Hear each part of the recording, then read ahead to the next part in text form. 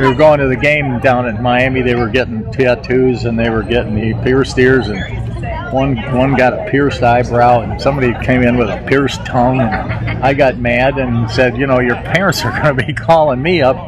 They said, cut it out or I'm gonna you're not gonna play or I didn't remember exactly and then then I made a dumb statement, which is par for the course. I said, look, if we win this game, I'll get a tattoo.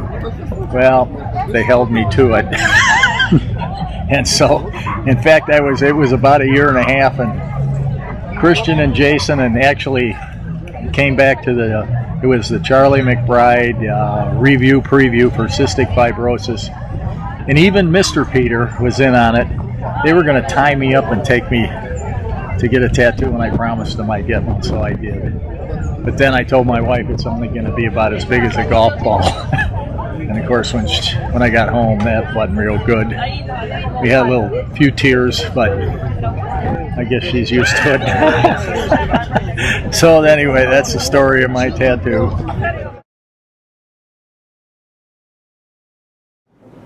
Hi, John. This is Christian Peter. I'm sorry but the stories I have about Charlie are not appropriate for the public. I fear if I would share these stories, Charlie could be sentenced to life in prison. He's a very, very sick man.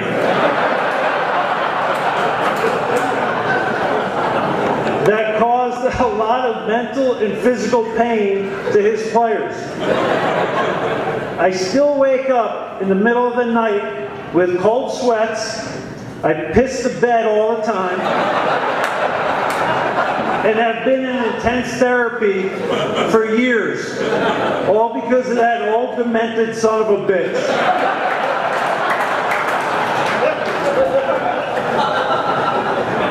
But just like every other guy that's ever lined up for this guy, there's nobody else that we would ever fucking want calling us a piece of shit or calling us fucking, you know, some guy. There's nobody else that we would take it from.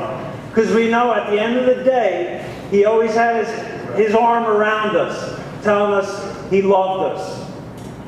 And there's not a guy up here who wouldn't do it anything if Coach asked. Coach, we love you. There's nobody else we would have wanted to play for. And, uh, you know, it's not just us, but everybody loves you, and it's well deserved. So glad we could be here.